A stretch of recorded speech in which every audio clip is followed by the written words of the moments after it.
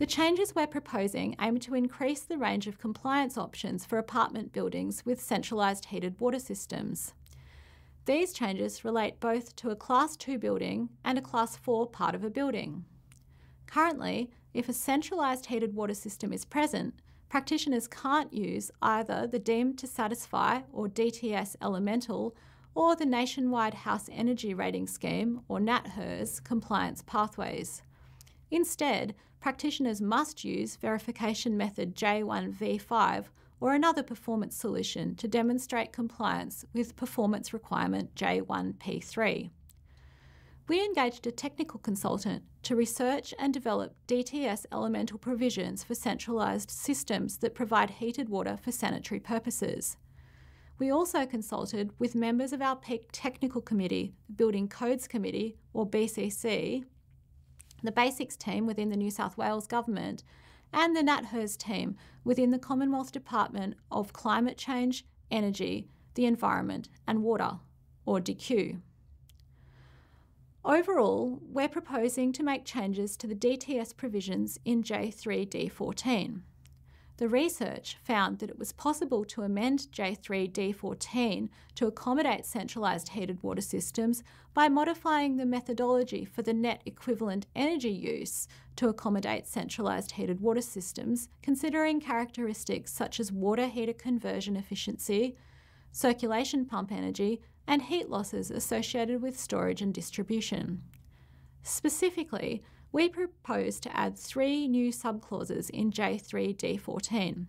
This will include J3D14-4, which is a new method to calculate the net equivalent energy use of a sole occupancy unit, or SOU, of a Class 2 building or a Class 4 part of a building served by a centralised heated water system. It also includes J3D14-7, which is a new method to determine the main space conditioning and main water heater efficiency factor for an SOU, and J3D148 as a new method to determine the circulating pump energy use. It's important to note that no changes are proposed to air conditioning systems, spa pool pumps, or swimming pool pumps in terms of how they're considered in J3D14 to show compliance with J1P3. The proposed changes will provide a pathway for determining the net equivalent energy use of centralised water heating equipment serving either SOUs in apartment buildings, Class 2, or a Class 4 part of a building. Should the provisions be accepted, we'll update the whole of home calculator to accommodate centralised heated water systems. In addition, the NatHERS team is also working on adding centralised systems to the NatHERS pathway. These changes will make it easier for apartment buildings served by centralised heated water systems to demonstrate compliance with the NCC.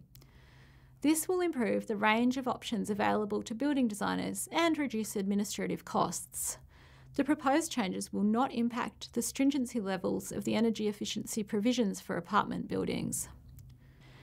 If you'd like to provide feedback on this proposed change, visit our dedicated PCD page abcb.gov.au slash PCD.